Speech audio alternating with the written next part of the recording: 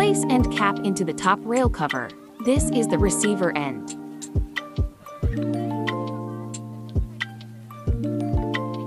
Top rail cover is positioned and screwed in. Place the T-shaped bottom plate in position, in line with the center of the top rail cover. Line up the bottom guide track accordingly. Make sure the spring is fitted on top of the cassette. Place the top of the cassette into the top rail cover first. Then lift up the screen and drop onto the T-shaped plate. Here is the zoom-in view. Cassette should line up with the back of the T-plate.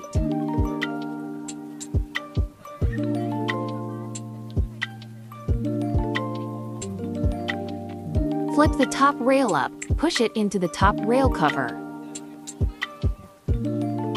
Turn this screw 90 degrees clockwise to lock the top rail into position.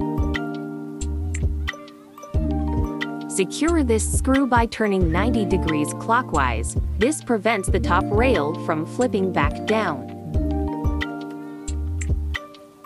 Open the screen fully, slide across a few times to check. Handle must be touching the ground, adjust if needed.